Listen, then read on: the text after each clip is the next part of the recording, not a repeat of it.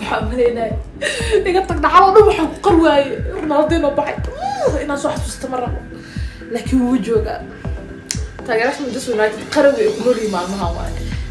soo baxid aa weydiisid aa dhahdid ronaldo idinka tag maxaa hayo asiga hortiisa anaga kaalinta war kaalinta lixaad ku dhamaysanay arsenal gadaasheeda micnaha. Iga tag lugooyo waaye kaas doon dhaafaa. Sanada baryaalka naga iskale u fiirsale u fiirso u fiirso hadda waa artimo saxiix cusub aan sameynay ciyaaraa ku jirtaa wallahi. Eragson waan soo socdaa taas waxaa kaaga dara macalin cusub aa qaadanay u fiirso xilli ciyaar warkaa iga qor. Warkaan iga qor xilli ciyaareedka dambe xilli ciyaareedka horyaalka qaada lehe maayo hey! Ronaldo adinkaaga caddaay sheeko aadi ma aaminta marka warkaas? Askaliis markuu yahay maxaa sameynaa mataqaana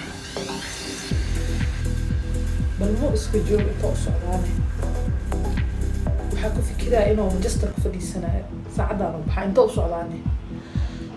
Wadna kurkuro nagu diro. Almiina daba hal mar ma baxo waana dhaafi lahaaye niyo taageerayaasha manchester oo annaga hanugu ciyaarina? Annaga hanugu ciyaarin dad waaweyn oo caqli lahaana annaga hanugu ciyaarina. Waa idin fahmi karnaa? Horta been maaha. Ciyaaryahan weyn waa ciyaaryahankiina waaye. Legend waaye. Xilli ciyaareedka wax walba idiin sameeyey.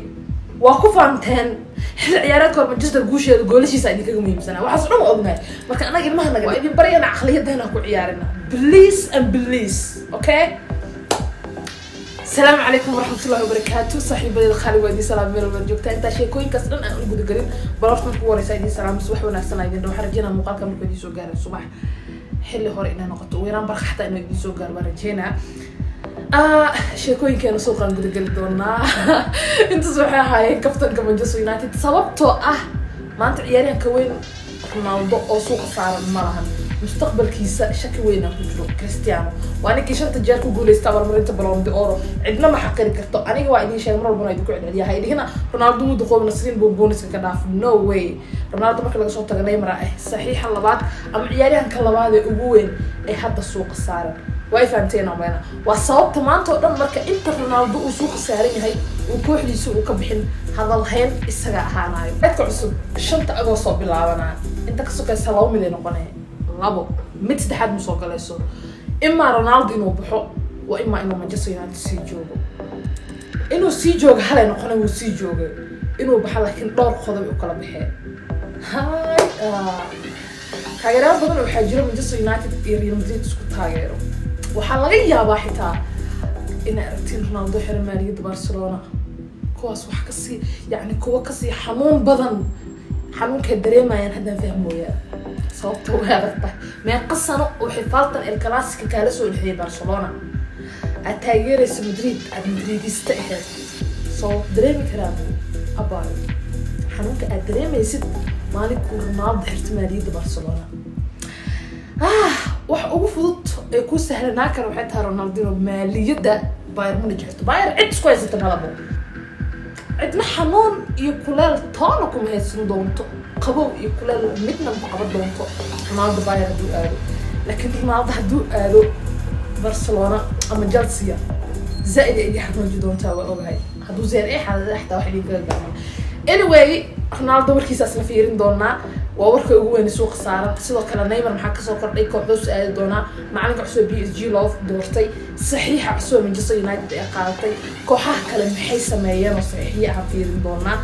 Ingiriiska maalmo yaraa ka dhiman haddaba xisaabso wax ka yar soddon maalinaa ka dhiman horyaalka ingiriiska. Almost waa bilaab rabaa ama saxiix sameey ama iska dhaaf.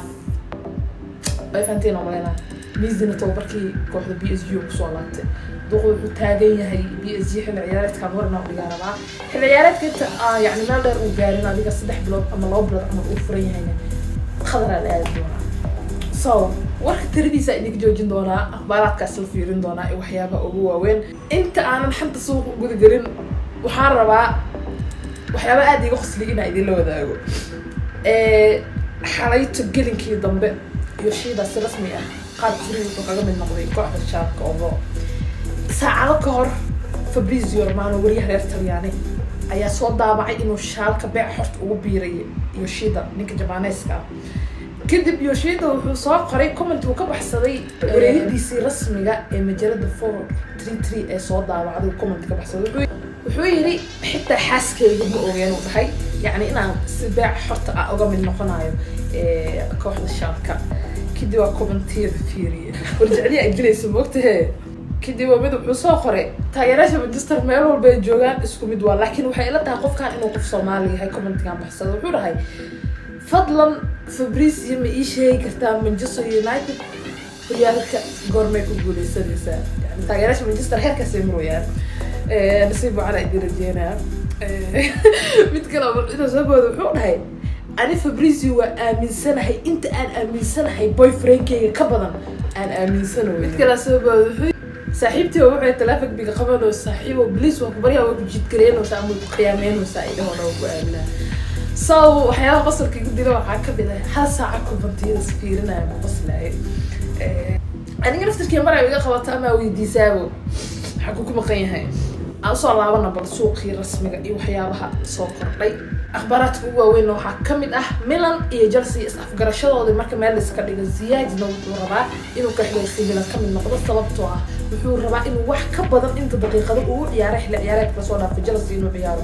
Wuxuuna dareemayaa qaabka chelsea suuqa ugu jirto in uusan wabeos joogto ka heli karin xilli ciyaareedka soo socto waana soo dejinayso in uu ka dhaqaaqi doono kooxda salatan ibrahimovic isagana qorshaha uguma jiro inuu ka fariisto kubadda cagta.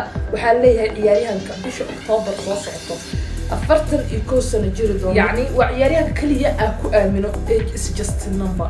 Ibrahimovic waa la xaqiijiyay ma fariisan doono kubadda cagtana kama fariisan doono isagoo weliba milan heshiis cusub u saxiixi doono ilaa iyo labada kun labaatan iyo saddexda bishaa sida juun ayuuna sii ciyaari doonaa. Ciyaaryahankaas inkastoo dhaawacyo soo gaaray oo weliba jilib ka soo gaaray waqti dheer ay ku qaadatay lix ilaa iyo todoba bilood inuu ka soo qabto xilli ciyaareedkii la soo dhaafay. Weliba in ka badan hal jeer ayuu dhaawacmay laakiin saratan muu badnin inuu fadhiisan doono mushaaraad ahaan Milan wuxuu ka qaataa sanadiiba ama ciyaareedkiiba hal ilaa iyo hal dhibic shan milyan welina wuxuu ku qanacsan yahay inuu sii ciyaari karo arrinta Ravinho dagaal ay isku bedeshay weliba gacmaha iskula tagi doona way tahay sababtoo ah Brazilianka ilaa hadda heshiiskiisa dhinac uma dhicin wuxuuna sugayaa in kooxda Leeds madaxday gees ka dhaafto Barcelona ay ka iibiso Leeds waxay isku dayaysaa ciyaaryahankooda inay ka dhaadhiciyaan ugu yaraan balse ku meel gaara xilli ciyaareedyo xitaa hal ama labo inuu Chelsea ugu sii qaato kadibna riyadiisa uu dib dhigto si kooxdan.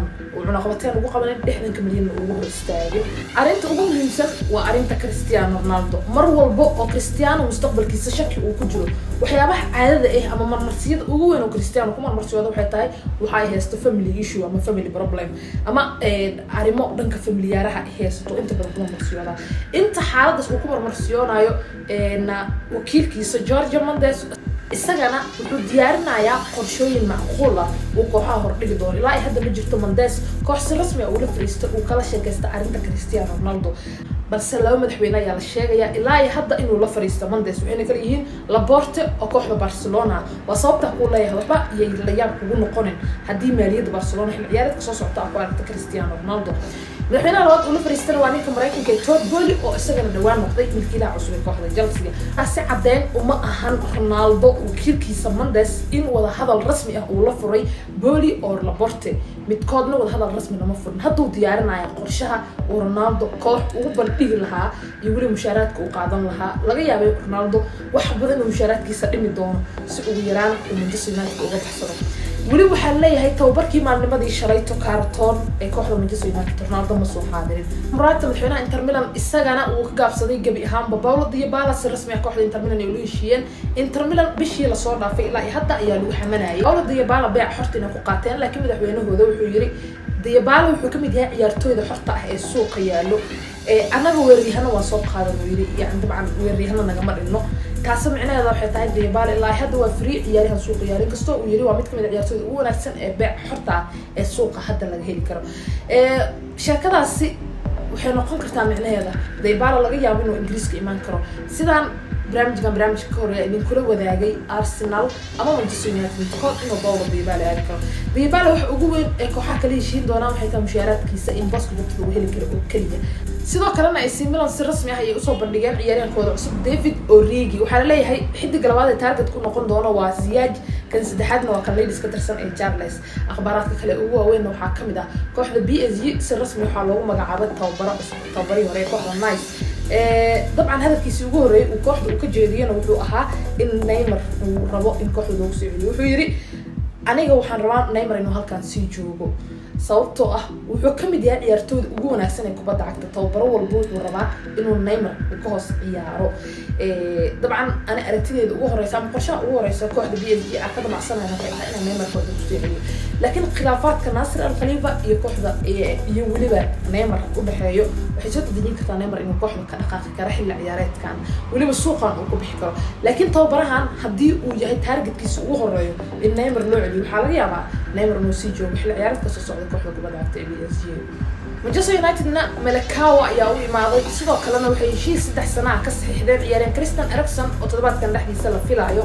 Tijaabada caafimaad inuu mari doono kooxda manchester united. Halka kooxda real madrid ciyaartooydeeda muhiimka ahna heshiisyo waqti dheer ay ka saxiixtay sida rodrigo malito iyo weliba fenicius junior. Fenicius madrid wuxuu u saxiixay heshiis ilaa iyo labada kun labaatan iyo toddobada ah. Melatao iyo rudrina heshiisyada ay ku sii joogi doonaan madrid waxay gaarsiiyeen ilaa iyo labada kun sideed iyo labaatanka ciyaartooydan kandaraaskooda waxaa lagu kansali karaa hadday koox mustaqbalka soo dalbato hal bilyan. Idminis ma iibin doonta micnaheeda tahay sababtoo ah koox ma jirta hadda hal bilyan ciyaaryahan ka bixin doonta. Laga yaaba mustaqbalka dhow in kooxo ciyaaryahan bilyan ka bixinaya inay imaan karaan.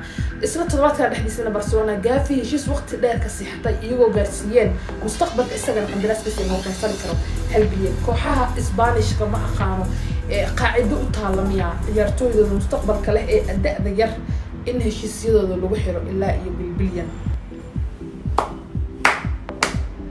manchester united ilaa iyo hadda waa kooxda ugu dhaqdhaqaaqa fiican ingiriiska. Marka loo fiiriyo ilaa xilligan aan taaganahay wararka ugu dambeey suuqa aan fiirfiirinahay sababtoo ah lisander martinez ciyaaryahan kale isaga la aaminsan yahay isla toddobaadkan. Heshiiskiisa manchester united inay dhamaystiri karto. Taas micnaheeda waxay tahay manchester ugu yaraan kuma mashquulsano bixitaanka iyo joogista cristiano sababtoo ah melekawo heshiis rasmiya ka saxiixeen waana soo bandhigay. Lamid ahna ericson heshiis saddex sano u saxiixay. Tijaabada caafimaadna toddobaadkan mari doona lisander way ku dhow yihiin. Ribalana beec xortina ku qaataan ayaa laga yaabaa. Kooxaha kale marka aan fiirino iyagana dhaqdhaqaaqooda suuqa aada uma badno. Arsenal oo kale ilaa iyo hadda war oo yani ciyaaryahan hadda ay raadinaysa aanan ka ahayn daybalo beec horta ku imaan kara ma jiro.